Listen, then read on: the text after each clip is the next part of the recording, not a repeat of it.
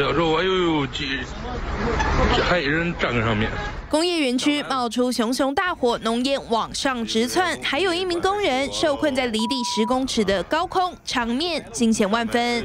上面有人哦！路边民众纷纷拿手机拍下影片，不过仔细看，受困的男子也拿着手机，但他竟然不是在报警求救，而是将镜头对准脚下火光冲天的景象，拍下影片发朋友圈。你看，上面的人都下来了。看到吗？谢里头，谢里头烧焦了。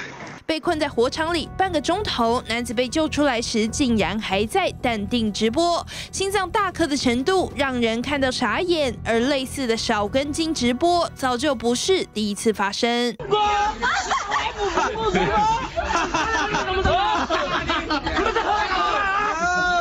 网红为了吸引注意力，踩在警车车顶上后，还嚣张录影直播，立刻被警方巡线逮捕到案。还有直播主为了想红，谎称自己潜入北京故宫夜宿，惊动北京故宫彻夜搜查一晚上，引发轩然大波。